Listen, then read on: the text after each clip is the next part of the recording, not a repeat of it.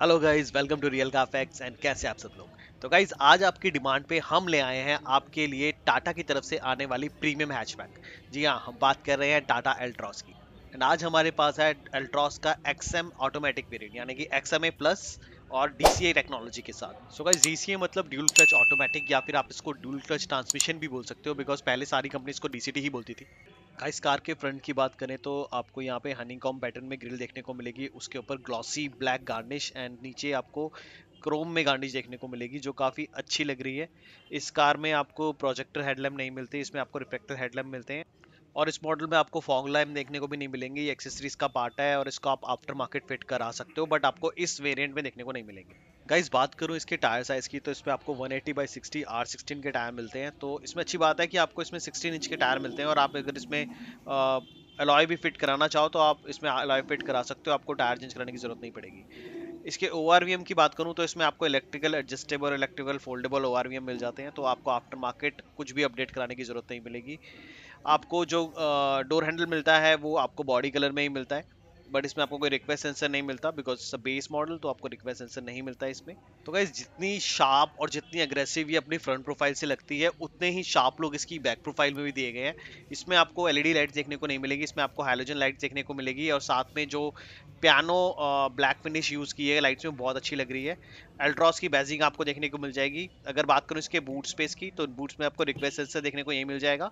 बात करूँ इसके बूट स्पेस की तो इसमें आपको 345 लीटर का बूट स्पेस मिलता है। आई गेस जो बहुत सफिशियंट है। जो स्पेयर टायर इसमें आपको मिलता है, वो 14 इंच का मिलता है तो स्पेयर टायर आपको छोटा साइज़ का मिलेगा इसमें। अदरवाइज़ कार बैक प्रोफ़ाइल से भी बहुत ज़बरदस्त लगती है। बात करूँ यार इसके डायमेंशन की तो इसमें आपको 3990 mm की लेंथ मिलती है 1755 mm की विथ एंड 1523 mm का हाइट प्रोवाइड करती है। बात करूँ इसके व्हील बेस की तो इस कार में आपको 2501 mm का व्हील बेस मिलता है, जो कि काफ़ी अच्छा है एंड इस वजह से इसमें काफ़ी आपको स्पेशियस फील होगी कार आप इसमें तीन एडल्ट पीछे इसकी रियर सीट में आराम से बैठ सकते हो। तो स्पेस के मामले में तो आपको कोई दिक्कत नहीं आने वाली। तीन एडल्ट पीछे वाली रेयर सीट में आराम से बैठ सकते हैं। अब चलते हैं कार के अंदर और देखते हैं इसका इंटीरियर कैसा है। तो गाइज़ इंटीरियर में ड्यूल शेड का यूज़ किया गया है, जो काफ़ी अच्छा लग रहा है देखने में। एंड ब्लैक और वाइट सा कलर है ये, काफ़ी अच्छा लग रहा है देखने में। और यहीं पे आपको विंडोज़ के सारे कंट्रोल देखने के मिल जाएँगे साथ साथ ओवर में कंट्रोल भी यहीं दिए गए हैं। ड्राइवर सीट में आपको हाइट एडजस्टेबल फीचर देखने को नहीं मिलेगा बिकॉज़ ये बेस वेरिएंट ही है ऑटोमेटिक का तो हाइट एडजस्टेबल का फीचर नहीं दिया गया। बाकी पॉस्ट्री की काफ़ी अच्छी है सीट्स की एंड कुशनिंग भी काफ़ी अच्छी है सीट की। एंड कार के अंदर चलते हैं एंड देखते हैं कि कार अंदर से कैसी लगती है। तो कार के अंदर बैठते हैं। तो गाइज़ स्टेयरिंग आपको यहाँ पे फ्लैट बॉटम स्टेयरिंग देखने को मिल जाएगा एंड uh, साथ ही आपको म्यूज़िक कंट्रोल्स यहाँ मिल जाएँगे। क्रूज कंट्रोल इस मॉडल में नहीं आते हैं इंस्ट्रूमेंट uh, क्लस्टर की बात करूँ तो टैकोमीटर और स्पीडोमीटर आपको देखने को मिल जाएगा सेंटर में एमआईडी है जैसे कि आपको बंच में भी देखने को मिलती थी। एंड uh, यहाँ पे आपको हरमन की स्क्रीन देखने को मिल जाएगी। ए सी इवेंट यहाँ पे दिया गया अल्ट्रॉस की बैजिंग फिर से अच्छी दी है। ए सी इवेंट का डिज़ाइन भी काफ़ी अच्छा लग रहा है देखने में।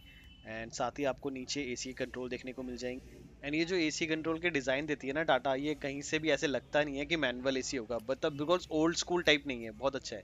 और यहीं पे आपको इसका ऑटोमेटिक ट्रांसमिशन देखने को मिल जाएगा parking reverse neutral and drive mode and इसके नीचे ही हैंड ब्रेक की प्लेसिंग दी गई है। एंड uh, बाकी ओवरऑल यार अगर देखो ना गाड़ी का डैशबोर्ड काफ़ी प्रीमियम लग रहा है। और अगर आप इससे अपर मॉडल लेते हैं तो आप उसमें आपको एम्बियन लाइटिंग भी देखने को मिल जाएगी। एक बार इसका ग्लव बॉक्स भी चेक कर लेते हैं। तो इसके ग्लव बॉक्स का साइज़ भी काफ़ी सफिशियंट है यार। इसमें आपको कूल ग्लव बॉक्स नहीं मिलता बट साइज़ काफ़ी सफिशियंट है इस ग्लव बॉक्स का। तो इसलिए आप अपना सामान यहाँ पे रख सकते हो। इस वेरिएंट में आपको ट्विटर नहीं मिलता। इस वेरिएंट में आपको सिर्फ़ टू स्पीकर्स प्रोवाइड किए जाते हैं। इसके अलावा यहाँ पे आपको थोड़ा सा स्पेस मिलता है तो यहाँ पे अपने कॉइन्स मोबाइल वगैरह कैरी कर सकते हो। इस वेरिएंट में आपको डे नाइट आयर भी नहीं मिलेंगे आ, नहीं आपको यहाँ पे कोई वैनिटी विनर देखने को मिलेगा को पैसेंजर और ड्राइवर साइड दोनों तरफ़ नहीं दिएगा अदरवाइज़ यार कार का इंटीरियर तो काफ़ी अच्छा लग रहा है मुझे इस प्राइस रेंज में काफ़ी अच्छा इंटीरियर दिया है। अब चलते हैं कार की बैक प्रोफ़ाइल में देखते हैं कि बैक प्रोफ़ाइल में कितना कंफर्ट है इस कार में।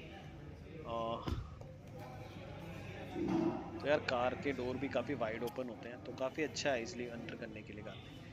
स्पेस कार में काफ़ी अच्छा है आपको इसमें एडजस्टेबल हेडरेस्ट नहीं मिलते रियर सीट पे। कार के अंदर बैठ के देखते हैं। तो अच्छा लेग रूम मिल जाएगा आपको इस कार में। चार लोग ती, पीछे तीन लोग आराम से बैठ जाओगे। साथ में आपको यहाँ पे ग्रैब हैंडल मिल जाएँगे फिक्स ग्रैब हैंडल दिए गए हैं। एंड कोई आपको रेयर एसी वेंट देखने को नहीं मिलेगा इस कार में। अच्छा थाई सपोर्ट है। कुशनिंग भी काफ़ी अच्छी है। लेग रूम भी काफ़ी अच्छा है कार में रियर सीट में। एंड ये रहा आपकी रियर सीट से आपके डैशबोर्ड का लुक सो so, अगर कंपेयर करूँ बाकी हैचबैक कार्स में तो इसमें काफ़ी अच्छा कंफर्ट एंड काफ़ी अच्छा स्पेस है इसकी रेयर प्रोफ़ाइल में। सो so, गाइज़ अब बाहर चलते हैं बात करते हैं इस कार के बारे में। सो अगर गाइज़ मैं बात करूँ इस पर्टिकुलर वेरिएंट के बारे में तो ये X M A plus one point two petrol variant है एंड इसकी जो ऑन रोड प्राइस आपको कॉस्ट करेगा, ये करेगा nine lakh fifty two thousand तो भाई लोग, अगर आपको प्रीमियमनेस के साथ सेफ्टी चाहिए तो आप इस वेरिएंट की तरफ़ जा सकते हैं।